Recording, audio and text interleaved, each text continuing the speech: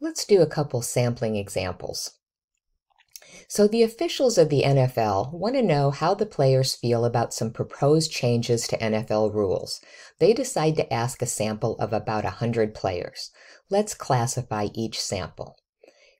In Part A, the officials choose the first 100 players to volunteer their options. So pause this and see if you have an answer. If you're choosing the first 100 players who volunteer, that's a self-selected sample. Part B, the officials randomly choose three players from each of the 32 teams in the NFL. This is going to be a stratified sample. You are um, you are grouping your players into teams and then choosing three from every team.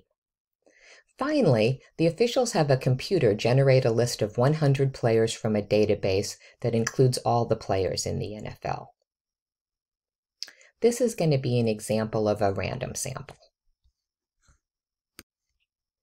Let's do one more check for understanding. The editor of a snowboarding magazine wants to know if the readers wants to know the reader's favorite places to ride.